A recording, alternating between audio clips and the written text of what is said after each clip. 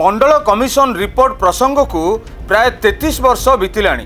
ଭାରତୀୟ ଜନତା ପାର୍ଟି ବିଗତ ବର୍ଷମାନଙ୍କରେ କୌଣସି ସମୟରେ ମଧ୍ୟ ଏହି ରିପୋର୍ଟକୁ ନେଇ ମୁହଁ ଖୋଲି ନଥିଲା। କିନ୍ତୁ ଏବେ ପାଞ୍ଚ ରାଜ୍ୟର ବିଧାନସଭା ନିର୍ବାଚନ ସମୟରେ ବିଜେପିର ନେତାମାନେ ମଣ୍ଡଳ କମିଶନ ରିପୋର୍ଟ ସମ୍ପର୍କରେ ବିଭିନ୍ନ ଜନସଭାରେ ଭାଷଣ ଦେଉଛନ୍ତି।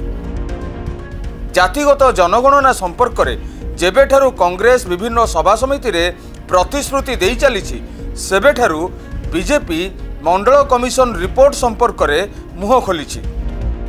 ଇଣ୍ଡିଆ ମେଣ୍ଟର ପ୍ରମୁଖ ନେତା ତଥା ବିହାରର ମୁଖ୍ୟମନ୍ତ୍ରୀ ନୀତିଶ କୁମାର ବିହାରରେ ଜାତିଗତ ଜନଗଣନା କରିସାରିଛନ୍ତି ଏବଂ ସଂରକ୍ଷଣ ପ୍ରସଙ୍ଗ ମଧ୍ୟ ଉଠାଇ ସାରିଲେଣି। ବିଗତ ଦିନରେ କଂଗ୍ରେସର ପୂର୍ବତନ ଜାତୀୟ ସଭାପତି ସୋନିଆ ଗାନ୍ଧୀ ଏବଂ କଂଗ୍ରେସର ବରିଷ୍ଠ ନେତା ରାହୁଲ ଗାନ୍ଧୀ ସଂସଦରେ ଜାତିଗତ ଜନଗଣନା କରିବା ପ୍ରସଙ୍ଗ ଉପସ୍ଥାପନା କରିଥିଲେ। ଏହା ପରେ ନିର୍ବାଚନ ଅନୁଷ୍ଠିତ ହେଉଥିବା ପାଞ୍ଚ ରାଜ୍ୟରେ କଂଗ୍ରେସ ବିଭିନ୍ନ ସଭା ସମିତିରେ ପ୍ରତିଶ୍ରୁତି ମଧ୍ୟ ଦେଇଛି। ଯଦି କଂଗ୍ରେସ ରାଜ୍ୟରେ ସରକାର ଗଠନ କରେ ତେବେ ଜାତିଗତ ଜନଗଣନା କରାଯିବ।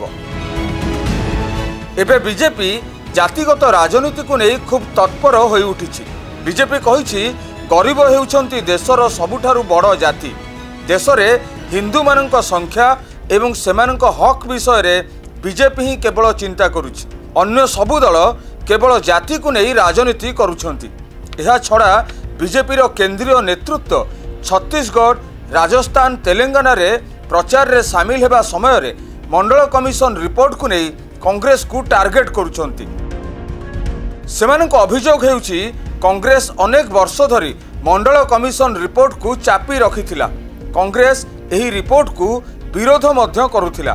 ଏହା ସହ ବିଜେପି ନେତାମାନେ କଂଗ୍ରେସକୁ ପ୍ରଶ୍ନ ପଚାରିଛନ୍ତି କଂଗ୍ରେସ ଓବିସି ମାନଙ୍କ ପାଇଁ କ'ଣ କରିଛି? ପାଞ୍ଚ ରାଜ୍ୟର ବିଧାନସଭା ନିର୍ବାଚନରେ କଂଗ୍ରେସ ଓ ବିଜେପିର ଏଭଳି ଆଭିମୁଖ୍ୟ ଦେଖି ରାଜନୈତିକ ସମୀକ୍ଷକମାନଙ୍କ ମତ ହେଉଛି ବିଜେପି ଆଜି ପର୍ଯ୍ୟନ୍ତ କାହିଁକି ମଣ୍ଡଳ କମିଶନ ରିପୋର୍ଟକୁ ନେଇ ଚୁପ୍ ରହିଥିଲା?